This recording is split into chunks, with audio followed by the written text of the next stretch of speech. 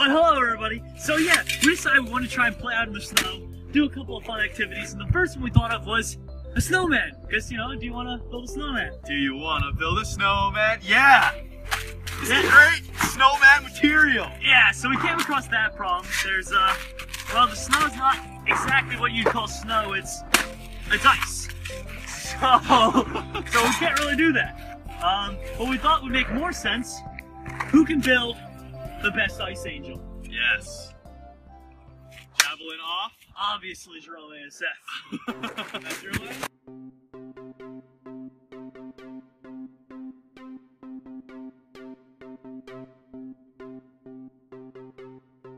Alright.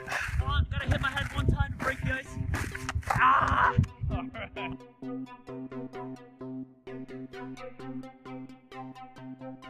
That's an angel if I ever saw one. that is a beautiful Merome. There's a line over here. I can see right where your butt was. So I guess Oh, we're gonna have to leave the voting up to the viewers for whose you thought was better. Better ice angels. Yeah. Yeah, it is.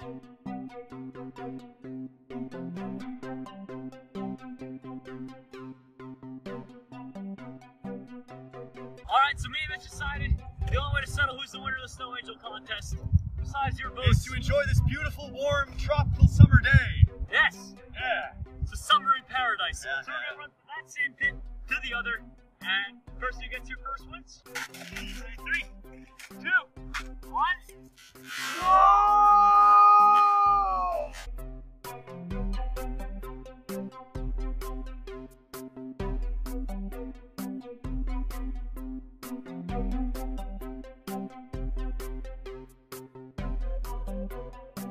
Alright.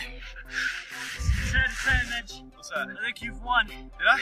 the first ever desert games. The Desert Games. These So- are some hot and spicy dunes out here. And uh, we did the best we could. It was a great race, great competition, Good, it's good. solid competition, and uh, Let's choose a warmer, uh, I'm sort of colder next year. yeah, can we do Antarctica? Yeah, next year maybe, maybe Antarctica. right? Yeah. Yeah. It's, it's not nearly cold enough then.